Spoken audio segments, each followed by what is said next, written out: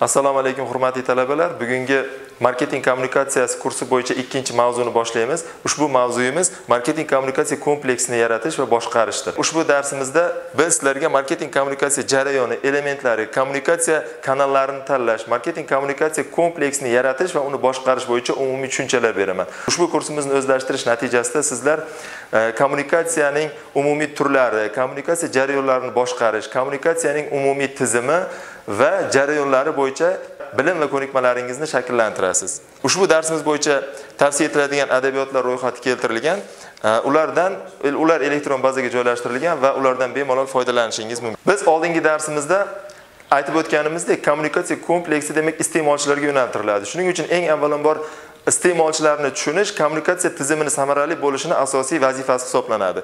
Biz insonda beshta sezgi orqali axborotlarni qabul qiladi. Ular ko'rish eshitish hidlash ushlab ko'rish va tan bilish.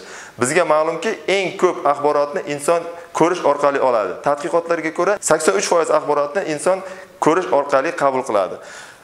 Bu jarayonlarni tushunish marketing kommunikatsiya kompleksni yaratishda iste'molchilarni asosiy xususiyatlarini bilish demak mana shu kommunikatsiya siyosatini ishlab chiqishning asosiy yo'nalishi hisoblanadi. Iste'molchilar tomonidan axborotni qabul qilish va qayta ishlash jarayonini biz to'rtta asosiy bosqichdan iborat deb qabul qilamiz. Ya'ni birinchisi axborotni his qilish diqqatni ana shu axborotga qaratish va qayta ishlash va qabul qilish shartlari. Ushbu qabul qilish shartlari bizning kommunikatsiya siyosatini ishlab chiqish doirasida doimo inobatga olinishi lozim bo'lgan xususiyatlar hisoblanadi. Marketing kommunikatsiyasining asosiy vazifalarini aynan iste'molchilarga muvofiq holda tashkil etishimizda to'rtta asosiy iste'molchilarni xususiyatiga mos holda shakllantirishni taqozo etadi. Ya'ni emotsional his tuyg'uni shakllantirish uchun emotsional holatdagi kommunikatsiya e'tiborni tortish uchun diqqatni jalb qiluvchi kommunikatsiya eslab qolish uchun qayta ishlanuvchi ta'sir kuchini oshirish uchun ta'sir doirasini yuqori bo'lgan kommunikatsiya vositalaridan foydalanish demak asosiy vazifa hisoblanadi. Xarid qilish kommunikatsiya siyosatini ishlab chiqishda iste'molchilarni xarid qilish jarayonlarini ham tushunish asosiy vazifa hisoblanadi. Iste'molchilar xarid qilish jarayonida 5 ta asosiy shart bo'yicha qabul qilishimiz mumkin. Demak xabardorlik bilish shart sharoiti ya'ni iste'molchini afzal bilishi ishonishi va xarid qilishi. Ushbu jarayonlarga mos holda tashkil etiladigan kommunikatsiya siyosatimiz eng avvalambor auditoriyani qiziqishi uchun mo'ljallangan bo'lishi ijobiy va salbiy emotsional xususiyat kasb etishi uning xulq atvoriga ta'sir ko'rsata olishi ishonchiga kira olishi shuningdek xaridorlarni his tuyg'ulariga yo'naltirilgan holatda bo'lishini taqozo etadi. Bizning kommunikatsiya strategiyamiz. И sotib olishga undash va sotishni rag'batlantirish ni ham inobatga olgan holda tashkil etishimiz kerak. Shuning uchun kommunikatsiya siyosatini ishlab chiqishda ratsional emotsional va axloqqa asoslangan uchta tamoyil bo'yicha keyingi asosiy masala kommunikatsiya jarayonini tushunish. Bizda kommunikatsiya jarayoni elementlari axborot jo'natuvchi ya'ni korxona axborotni ma'lum bir tizimga soluvchi ya'ni kodlash ya'ni har qanday axborot ma'lum bir tizimga solgan holda qabul qiluvchiga yo'naltiriladi. Axborot shakliga o'tkazilgandan keyin ma'lum bir uzatish kanallari orqali axborot iste'molchiga tomon yo'naladi va iste'molchi o'zi xohlagan axborotni demak qabul qiladi va ana shu shifrlangan axborotlar iste'molchiga. Bizning kommunikatsiya siyosatimizning asosiy maqsadi nimadan iborat bo'lishi kerak?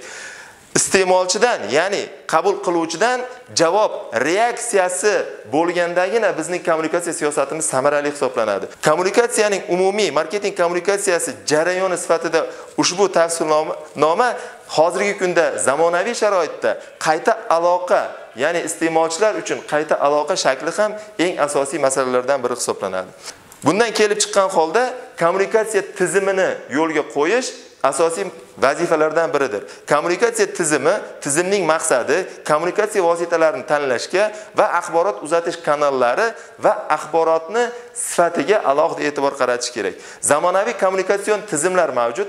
Ushbu tizimlarga misol crm tizimini keltirishimiz mumkin. Zamonaviy kommunikatsiya tizimlarining asosiy maqsadi korxonaning iste'molchilarga yo'naltirilgan kommunikatsiya tizimini boshqarishni nazarda tutuvchi tizimlar hisoblanadi. Jumladan crm tizimi ya'ni customer relationship management ya'ni iste'molchilar bilan munosabatlarni boshqarish tizimi bugungi kunda rivojlanib juda ko'plab e, dasturiy vositalardan foydalanadi va ana shular asosida umumiy kommunikatsiya tizimi boshqariladi.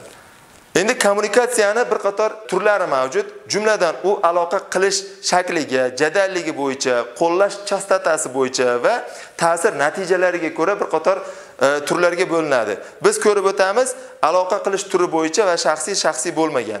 Shaxsiy bo'lgan shaxsiy kommunikatsiya yakuniy iste'molchilar bilan to'g'ridan to'g'ri bog'lanishni nazarda tutuvchi e, kommunikatsiya hisoblanadi. Masalan misol uchun aytganda bizning doim telefonimizga kompaniyalar tomonidan keladigan e, sms xabarlarini xabarlarni biz shaxsiy ya'ni yoki telefon so'zlashuvlarimizni shaxsiy kommunikatsiyaga bo'lsak endi shaxsiy bo'lmaganlari esa ommaviy axborot vositalarida keng jamoatchilikka ta'sir o'tkazishga qaratilgan kommunikatsiya vositalarini biz qabul qilamiz. Chastotasi bo'yicha misol uchun e, bir martalik ko'p martalik va hokazo ushbu kommunikatsiya vositalarining turlari bilan keyingi darslarimizda sizlar bilan batafsil tanishib o'tamiz. kommunikatsiya vositalarini rivojlanishi bizda turli xil e, kommunikatsiya jarayonlarini aks ettiruvchi modellarni shakllantirdi. Biz an'anaviy modelga ko'ra an'anaviy modelga ko'ra korxona korxonada shakllangan axborot axborot vositalari orqali iste'molchilarga ushbu shakl bir tomonlama xususiyat kasb etadi. Ya'ni iste'molchilardan qayta aloqa shakli yo'q.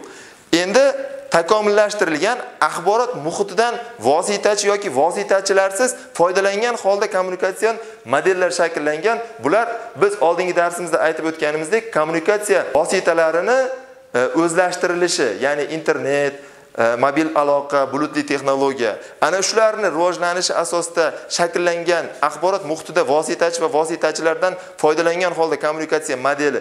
Buning asosiy xususiyati ya'ni an'anaviydan farqli jihati axborot jo'natuvchi ma'lum bir axborot muhitida faoliyat yuritadi va unga axborotni jo'natadi va axborot oluvchi ana shu muhit doirasidan kelib chiqib axborot jo'natuvchiga qayta aloqa shaklining mavjudligi an'anaviyga nisbatan farqli xususiyat hisoblanadi.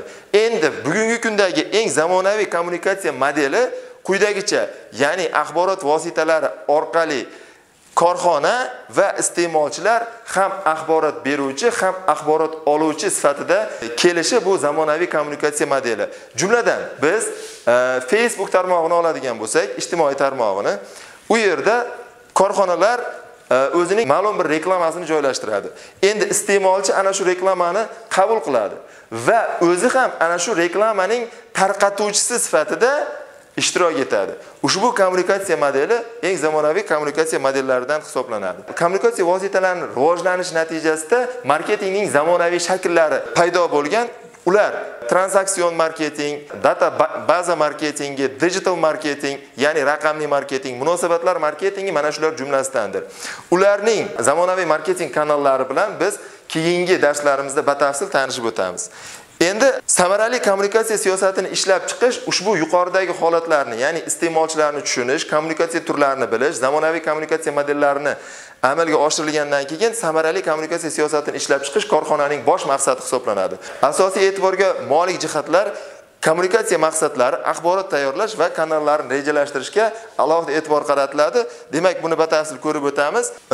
Reklama yoki kommunikatsiya murojaatnomasini yaratish jarayonida jarayonini ham kommunikatsiyani samaradorligini oshiruvchi asosiy vosita hisoblanadi. Shuning uchun e, murojaatnomada murojaatnomani mazmuniga murojaatnomani tuzilmasiga murojaatnomani rasmiylashtirilishiga va murojaatnoma yo'llovchilarni qanday tanlash kerak qanday uni amalga oshirishimiz kerak. Murojaatnomamizning mazmuni qaysi auditoriyaga yo'naltirilishi kerak va ana shu auditoriya qanday kommunikatsiya kanallaridan foydalanadi va bizning kommunikatsiya siyosatimiz doiraga yoki maqsadli auditoriyamizga mos keladimi degan asosiy yo'nalishlarda demak murojaatnoma yaratishni nazarda tutishimiz kerak. Endi e, kommunikatsiya kanallarini tanlash ham kommunikatsiya siyosati samaradorligini oshiruvchi asosiy yo'nalish hisoblanadi. Ya'ni shaxsiy kommunikatsiya kanallari ga demak advokat kanallar ekspert kanallar jamoatchilik kanallari kiradi.